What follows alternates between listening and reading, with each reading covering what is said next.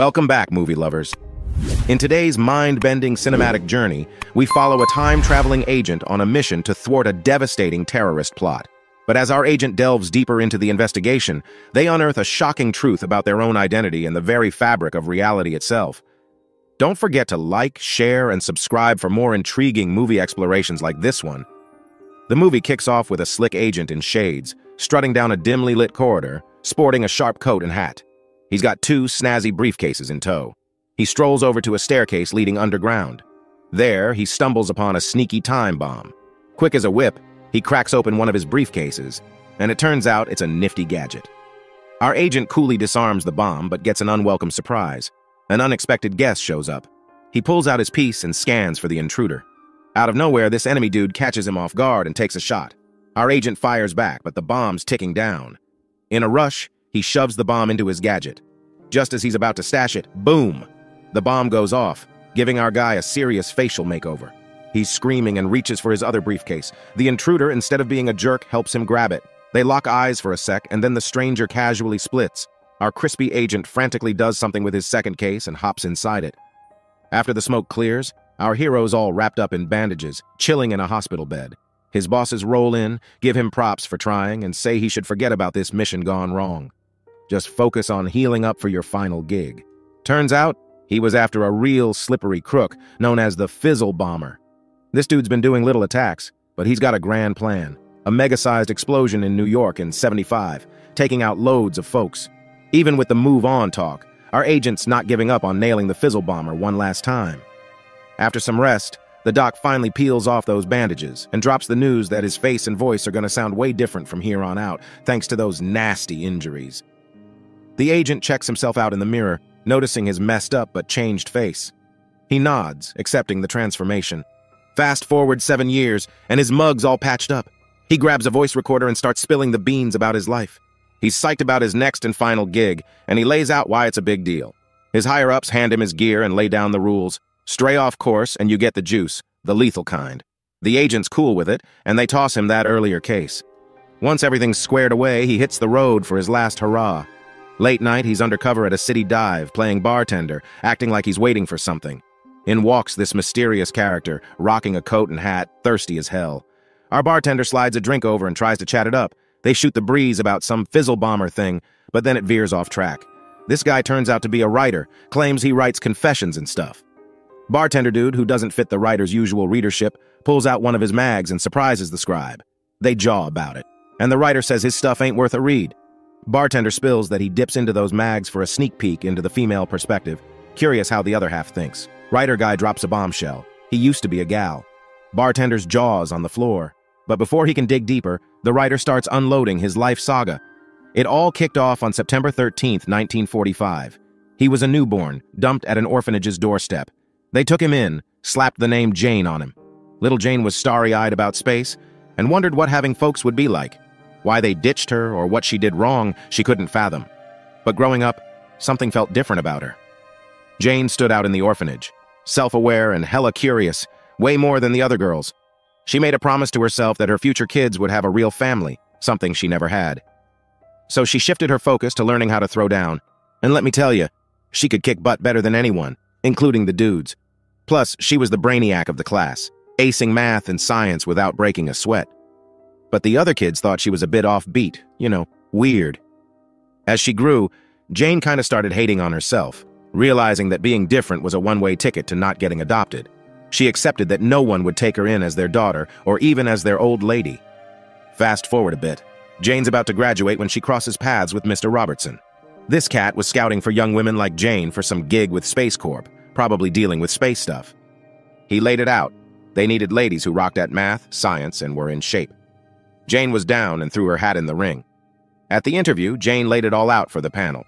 When they asked her what she saw her role as, she straight up told them she was dead serious about what Space Corp wanted. They bought it, and she got in. Space Corp had these special training sessions to see if folks could handle space travel. They hit Jane and the other recruits with some crazy space simulations. Jane felt alive, stoked to the max, but some folks couldn't handle the ride. Then came the endurance and written tests, and Jane breezed through while others sweated bullets. They also did these interviews with a heart rate thingy to check if you're lying. Shortly after, Jane found herself in a brawl with a fellow volunteer. She skillfully defended herself, landing a flurry of punches to the girl's face, ultimately putting her on the ground. The staff quickly intervened, taking them both to the clinic. Outside, a doc handed Robertson a report about something funky in Jane's body. The doc hinted that it could disqualify her, but Robertson insisted on keeping it a secret from Jane and said he'd handle it. Jane got the boot from the program without knowing why. While packing her things, Robertson approached her. Jane explained she was just defending herself. He promised to fight for her reinstatement, but Jane couldn't count on him. To make ends meet, she worked as a house helper during the day for a modest family. In her downtime, Jane found solace in reading confession story mags. At night, she struggled with etiquette classes. One rainy night, Jane bumped into a man and asked if he was lost. He replied, I'm waiting for someone. Jane quipped, Good things happen to those who wait. The man continued, But only the things left behind by those who hustle. Jane was impressed they shared the same mindset. She described the man to the bartender, emphasizing his looks and wealth, thinking he could change her life. Jane was totally into how that guy treated her, and the bartender, with a smirk on his face, acts like he's seen it all before. Jane leans over and asks the bartender if he's ever been a fool for love. He nods, admitting he's been there once, saying he gets where she's coming from. She spills the beans, saying that being with this dude was the best time of her life. But it all went downhill from there. He told her to wait at the bench, promising to be back, but he ghosted her. Jane figures it was just a fling, so she moves on quick, keeping her hopes alive for Space Corp. Then, out of the blue, Robertson shows up. He lays it all out, revealing the organization he works for ain't about space travel. It's some super secret government thing that cleans up messes, and they used Space Corps to find special folks like Jane, folks with talents, no family baggage, and no ties to the future. People just like her. Jane's confused, but figures this gig will change her life for the better. Until she finds out she's preggers, and Robertson goes MIA. Turns out that mysterious dude left her with more than just a broken heart. She thought her future was toast. One night, she's writhing in pain on an operating table, surrounded by med staff, ready to pop out the baby. The next morning, a doc comes in, all smiles, saying the C-section went smooth, and she's got herself a healthy baby girl. But then, the doc drops a bombshell, asking Jane if any other docs ever spilled the beans about her body's condition. Jane was all kinds of mixed up, telling the doc she ain't heard squat from them and that everything's A-okay. Doc lays it out plain. Jane's got both lady and gent bits inside, and even though the female gear was kinda half-baked, it could still cook up a baby. But here's the kicker. They had to yank out her lady parts because of some serious bleeding during childbirth. No worries, though. They pieced her back together, and she's got herself some manly gear, but it means more trips to the OR. Jane's mind was blown, tears flowing, couldn't wrap her head around it. Doc's doing the cheerleader routine, saying she'll be just fine. Jane still got her hands full with the baby, telling her she's the best thing ever. Nurse wants to know the baby's name, and Jane's thinking of naming her Mini-Me. Jane's now laser-focused on raising the kid right. But guess what? Baby gets snatched from the hospital by some old dude. Jane's trying everything, but no luck finding the baby or the perp. Then there's the other mess. Jane's got to go under the knife three times and chill in the hospital for nearly a year to turn into a dude. It's like she's losing herself in the process. Eleven months roll by, Jane stares in the mirror and finally sees the new dude looking back, realizing the old her is history. Jane's pouring her heart out to the bartender, saying that mirror's a constant reminder of the one who wrecked her life. Jane's on a mission to re-up with the Space Corps, but it's a no-go. Life's a real roller coaster, huh? They heard his story and said he couldn't go to space, basically ending his dreams. So Jane flipped the script, changed her name, and bounced to NYC to start fresh. She hustled, trying to make a living, and wound up telling juicy tales as the unwed mama. That's how Jane wraps it up. Now, here's where it gets wild. The bartender pops a question out of nowhere. Would you ice this dude if you had the chance? Jane's like, hell yeah. Bartender's all like, I can make it happen. Jane ain't trusting that. But then, out of nowhere, the bartender drops her current name, which is John. John's still side-eyeing the bartender, but then the bartender plays the I work for Robertson card. That's the magic word, and John's all in. They slide down to the basement, and there's this kit that the bartender claims is a time machine. John's like, for real? Bartender nods, and they disappear. Next thing, they're in 1963, Cleveland, Ohio. John's tripping from the time jump, but the bartender hooks him up with some cash and gear for the mission. Bartender spills the beans. The dude who messed up John's life might be the Fizzle Bomber, and if John takes him out, the job's his. Bartender bounces, leaving John to handle business.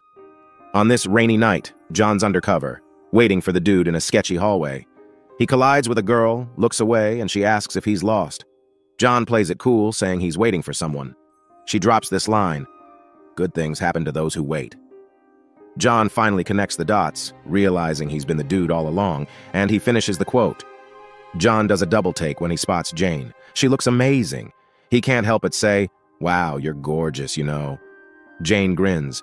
Guess you just told me. Meanwhile, a snooping agent lurks nearby, but eventually splits back to his botched mission.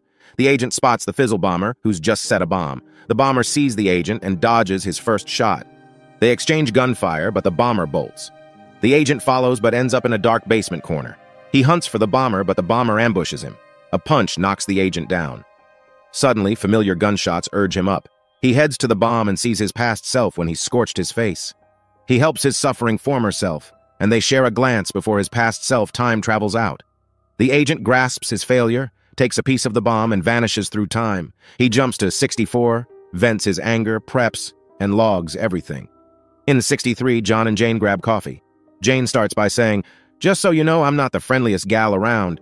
John's got some serious knowledge, so he straight up spills the beans to Jane, no beating around the bush. Jane's blown away by how they both peep at folks and think they're top dogs. She hits up John, curious what makes him feel so high and mighty. John cracks a sly one, saying he's got some mind-reading mojo. Jane's all in, daring him to take a peek at her thoughts. John starts dropping truth bombs about her life, struggles, and love vibes. Jane plays it off at first, but she's slowly falling for John's game. John shows some empathy, connecting with Jane's tough journey. They keep chatting and eventually lock lips. Things switch up when the agent's in a hospital hall meeting Robertson. The agent hands over a bomb piece and Robertson clocks it as an illegal move. But he's cool with it, claiming rules sometimes hinder saving lives. The agent's got doubts about the next gig, knowing Jane's in for some serious pain. Robertson spills the beans on why the mission's a must, keeping an agent born from a time loop like John in the mix. Robertson gives the agent a pep talk, then bounces. The nurse pieces out from the ward, and the agent snags Jane's baby. He jets to his spot, preps the kid for time travel, and sets the date, September 13th, 1945. He takes the baby and rolls. He switches his getup, drops the baby at the orphanage door where it all began. He wishes the kid well, rocking both John and Jane's names. He rings up the orphanage, job done. Back in Cleveland, Ohio, 1963. The agent spots John and Jane on a bench. John spots the agent, tells Jane to hang tight, and strolls over packing heat, feeling majorly played. The agent gets it, understands the pain, but still says, it had to be this way. John spills his heart, tells the agent he's head over heels for Jane, and the agent gives a nod. Then the agent breaks it down for John, who Jane used to be, who she is now, and who the agent is. John's mind clicks. He's speechless, but the agent says, It's all on track, buddy. John gazes at Jane, not ready to let go, but he knows the score. The agent takes John to HQ, promising a better life. John's wiped out from the ride, so nurses whisk him away. Outside, the agent and Robertson chat. Robertson spills the beans. John had to live a whole life to become the crime-stopping hero. The agent still worried about the fizzle bomber, but Robertson drops a bomb. The bomber made the agency tougher. The agent's shocked, but Robertson hands over the timer and new leads. Robertson says when the agent reaches his final stop, the kit goes kaput. The agent nods, they pat each other, and it's goodbye. The agent leaves John some recorded messages, takes off. He jumps to 1975 NYC, chills out in a chair, waiting for the kit to quit. Surprise, surprise, it doesn't. The agent checks Robertson's lead. He's still on the bomber's trail. Meanwhile, he hunts down a typewriter, scores one at an antique shop, and starts pounding out a novel. After finishing that book, the agent, who's been hiding in plain sight, turns out to be this dude named John. And guess what? The whole book he wrote? It's actually about his own wild life. So, John starts putting the puzzle together about this fizzle bomber thing, and man, it's not looking good. He grabs his piece and heads to the laundromat. When he kicks in the door, who does he find? An older version of himself, the fizzle bomber. John's pretty bummed about what he's become, but the bomber's like, I did what I had to do to save lives, man. John ain't having it, though. He lays into the bomber about all the innocent folks he messed up. Then he straight up tells the bomber he's never going to be like him. But the bomber drops a bombshell. It's destiny, man. If John offs him, he's next in line for the bomber gig, the bomber's last pitch. Love, of all things. But John ain't feeling the love. He shoots the bomber without blinking. It all clicks into place. This crazy loop ain't stopping. Baby, young Jane, grown-up John, the single mom, the mystery lover, and the agent. They're all one and the same, stuck in this destiny jam. Now, as the new agent John flips the script on his preordained life, old John's gearing up for his next preordained move, Crazy, right?